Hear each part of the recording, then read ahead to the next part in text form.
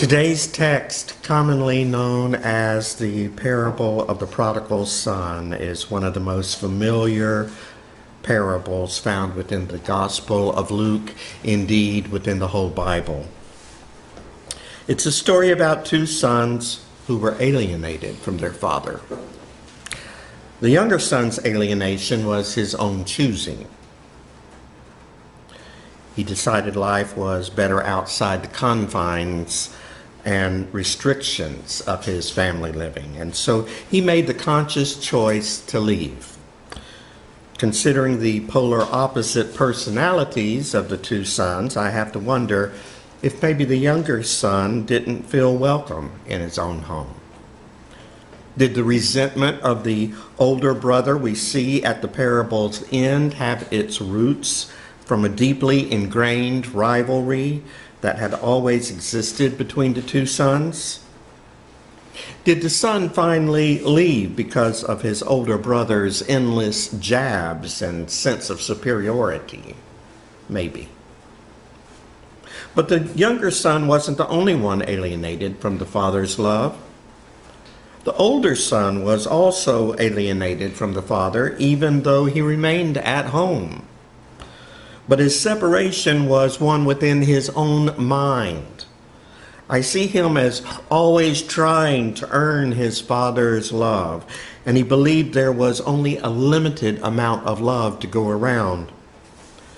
So each time he saw his father looking off into the distance, obviously longing for the younger son's return, he must have felt jealous for the love that he thought should have been lavished upon him because of his loyalty and faithfulness. I'm a gay man, and I don't set aside my sexual orientation or all the baggage that goes along with it when I approach God's Word. On the contrary, I look at the sacred text through the lens of my sexual orientation. I read it from the perspective of a gay man who has felt at times like I didn't belong because of who and how I love. And the need to belong is one of the basics of human existence. So when I read this text, it comes alive for me, not in spite of my sexuality, but because of it. I see a son who possibly didn't feel as if he belonged, who maybe felt excluded, and so he left home. I see another son who, feeling excluded from his father's love, tried to earn that love by doing the right thing, never realizing or believing that his father already loved him. Today, within our own state of Texas, there are those who feel they have the right to exclude others because of what they call sincerely held religious beliefs. Regardless of how sincerely those beliefs are held, they have nothing to do with religion, but everything to do with prejudice and bigotry. Last week, Senate Bill 17 passed the Texas Senate and is on its way to the House of Representatives. It's a bill which would allow professionals, including health professionals, to discriminate based on their sincerely held religious beliefs. Equality Texas Interim Director Samantha Smoot said Dan Patrick has doubled down on his attack on the LGBTQ community, moving out of bathrooms and into every single licensed profession in Texas. Senate Bill 17 will create dangerous religious exemptions for hundreds of professions, from barbers to tow truck drivers to doctors. And so, is it any wonder that LGBTQ people, like the younger son in today's parable, have decided to leave their church homes when their siblings treat them with such disdain?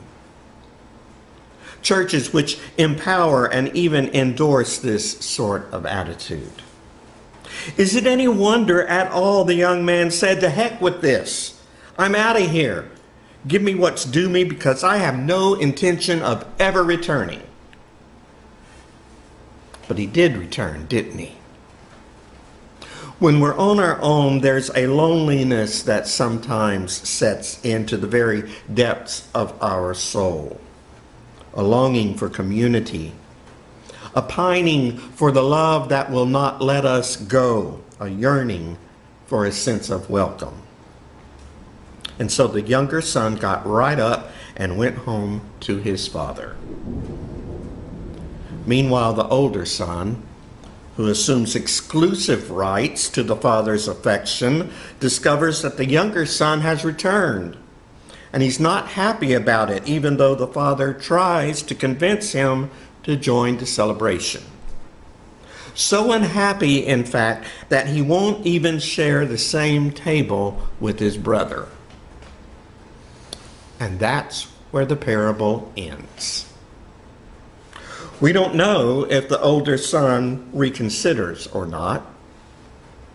We don't know if he lobbies for legislation that would allow him to discriminate against his brother or not. All we know is that within the father's household, all the children are welcome at the table. And so it is within our own with with within our own heavenly parents' household too. All the children are welcome, regardless of whether we like it or not. The banquet table of God's love is set, and everyone has been invited to it.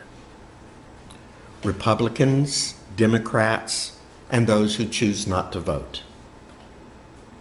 People of every faith and those of no faith at all.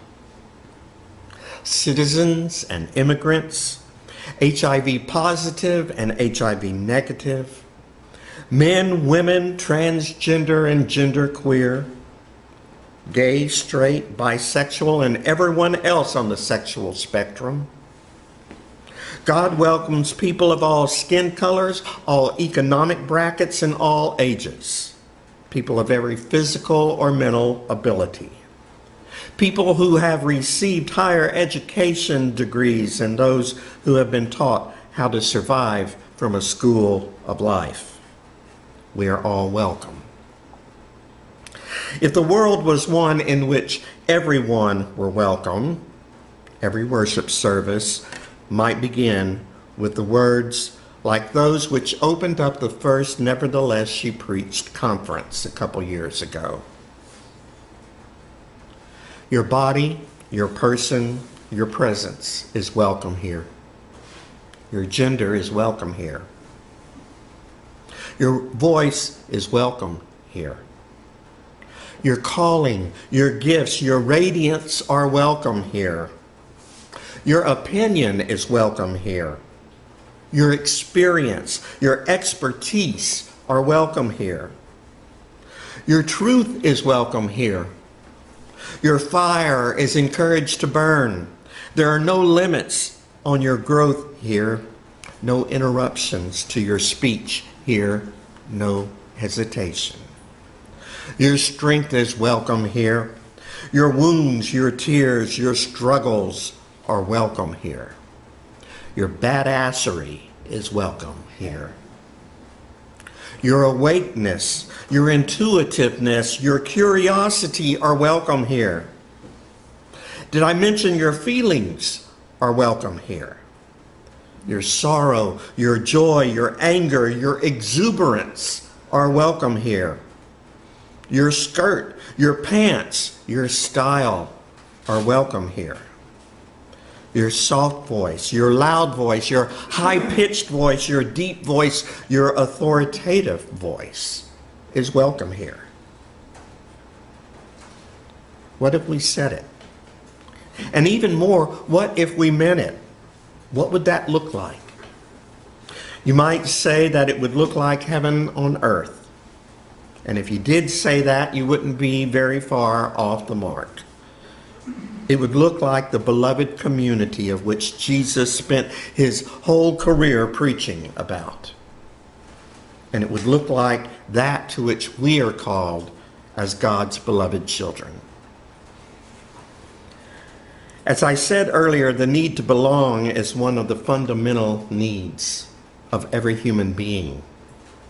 God created us with that need. So, why in the world would God condone anything other than the full welcome of a person who may be going through a sense of alienation and isolation?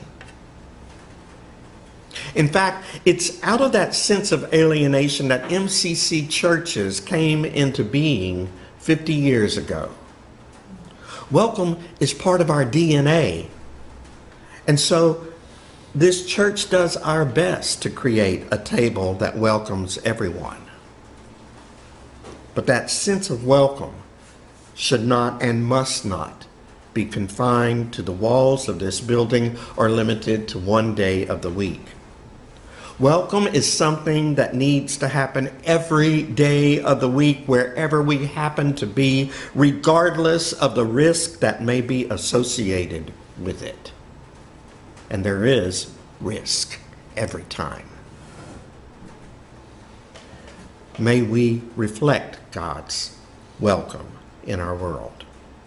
May we let down our guard long enough to look into the eyes of the person next to us and recognize that they are entitled to God's love and therefore our own. May we welcome both the stranger and the neighbor, and in so doing, experience the oneness of God's universe. Amen.